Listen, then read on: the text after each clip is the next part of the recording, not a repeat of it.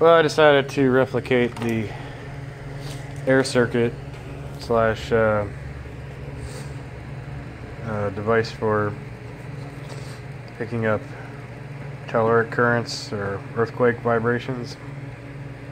Anyway, this is Byron circuit that he put up. It's from the old, uh, actually I don't have a schematic of it, but um, Ethan remade it as well. Just today he put up a video on it. So I got excited and I had to put it together. So basically I just used these little single 1K diodes to accomplish the same thing. These four capacitors, these are those 5 microfarad ones. This red wire is my 120 positive.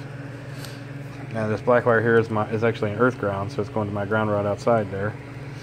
And um, so the output of this, I put my meter across it, off the charts, can't even read it.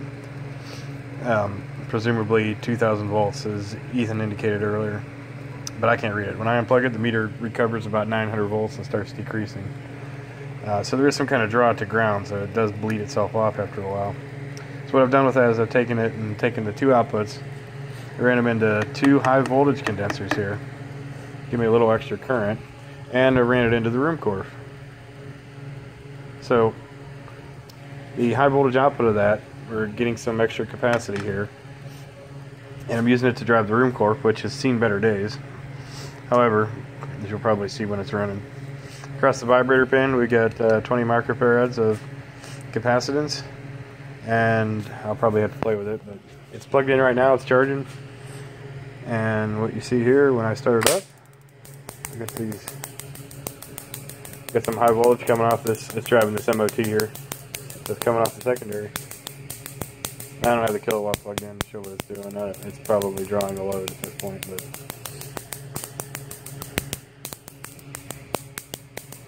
it's useful.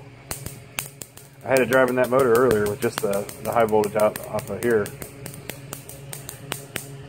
But there is enough current to drive this Ruhmkorff too. Oh yeah, look at that. That's the clip lead.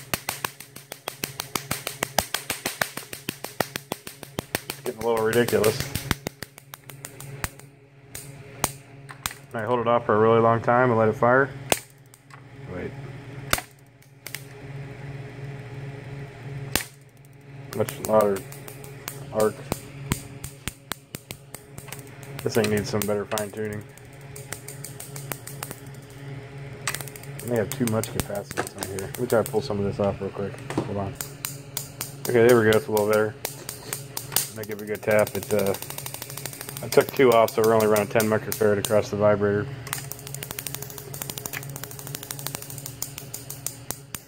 This could use just a hair more current to get this thing a little more stable, but we've got, let's see if I can get a light bulb on that real quick. Yeah, well, maybe not. I'll make another video in a minute where I'll hook it up to that guy. I can see if I can do anything with that. Maybe add another Leyden jar like that fishbowl there to help out.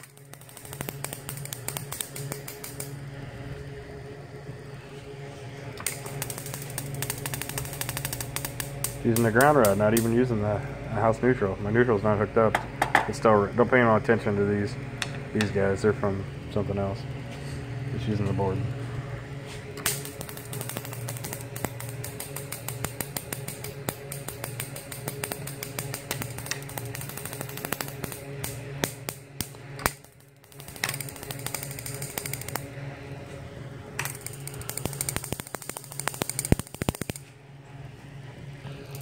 And with the lights off,